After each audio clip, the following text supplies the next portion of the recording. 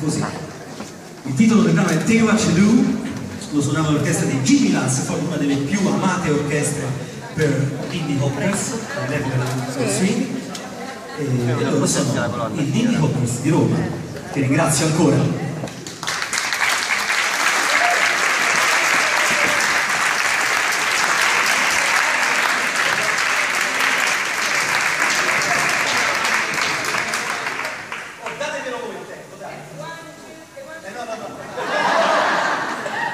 Ha ha ha.